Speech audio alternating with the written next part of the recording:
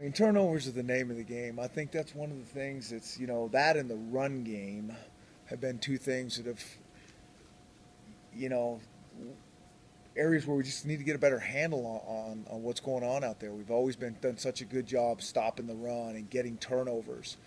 And, um, you know, the last couple weeks, you know, hadn't been exactly what we'd, we'd hoped. But, you know, today was one of those days. It's like, okay, that's that's what it's supposed to look like. That's what we're used to.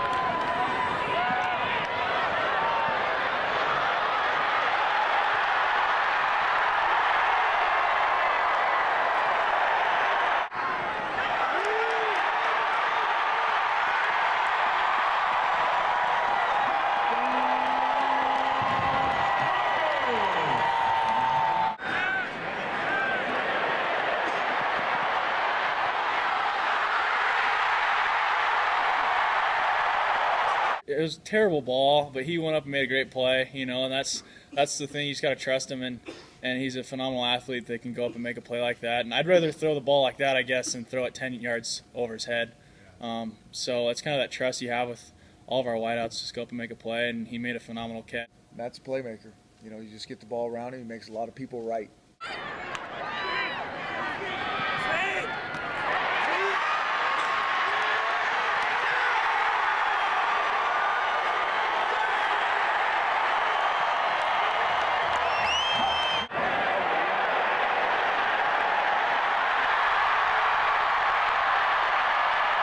Feels good to show you I'm not lying to you guys, telling you I worked on a little bit of speed in the off season. Um, but yeah, I think it adds a little new dynamic to my game where I can run those intermediate routes or go a little deeper too.